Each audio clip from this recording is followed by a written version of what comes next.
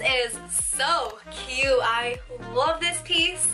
This is a high-waisted, high leg, cheeky bottom with the cutest little cutout. Like, how cute is that? It's a little keyhole with a little tie and it matches the tie on the front. Now these are removable straps so you can have it just be like a bandeau. There is a three like size adjustment on the back. These are size small, $12.84. This is a size medium. I definitely recommend to size up. It was also $12.84.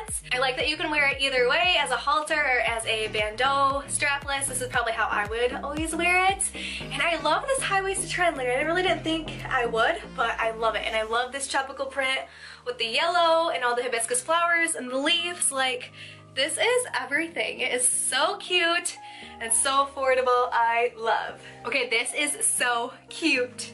Bitch, please. I had to get it. I could not resist. This is a cheeky wide leg one piece. It is low in the back and it's a little higher in the front. Adjustable straps so cute. I love the font and the white contrast with the like eggplant purple background color. It's so complimenting. This is so comfy, so nice. Definitely like a really trendy, cute, sassy one piece.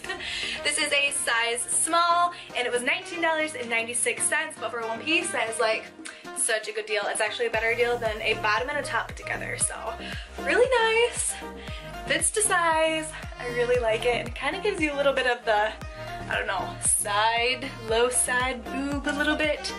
So kind of on the sexy side, but still really conservative just super cute. I love it. Okay, this suit is from their Time and Tru line, and I love that line. Everything is just so cute, but it does tend to run a little big, so just keep that in mind. I definitely had to use a uh, if you can see, a hair tie for the bottoms, but we'll get to that in a minute.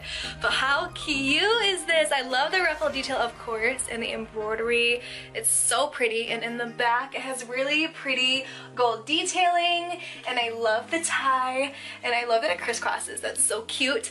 And the bottoms have just as much detail. They are high-waisted, and they have this really fun detail. It's like a keyhole, and then it ties, and it has these cute little tassels.